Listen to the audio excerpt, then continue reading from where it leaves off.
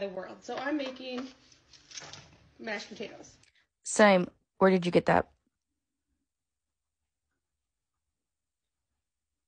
What is that? It seems as though I have been summoned. I've been contacted after hours. I've already had my late night cookie and glass of milk. I was ready to go to bed until people were telling me that they needed to know what invention this was. Come here. When it comes to carbs, I will always have time for carbs. Now, mind you, I was ready to get to work until I saw a lot of people saying that they didn't think I was skilled enough in order to memorize what invention this actually is because people weren't able to find it out just yet.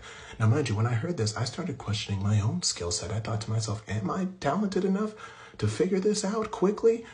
Well, after three long phone calls, two conversations with two separate customer service workers trying to help me find the twisty mashed potato invention thingy, and being on hold for way too long, and a lecture from my father about having to call stores really late at night and how that's probably not the best thing to do, I actually can tell you right now that I don't think I can actually memorize what make and model this invention is.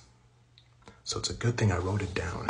It's a Joseph Joseph Helix Potato Ricer Masher Ergonomic Twist Action Hand Manual Stainless Steel for mashed potatoes. And they have a miniature version for garlic called the Garlic Press. Come here. Making mashed potatoes is a skill. It is an art form. It's an art set. And mind you, if you have these inventions, you can make some pretty solid mashed potatoes.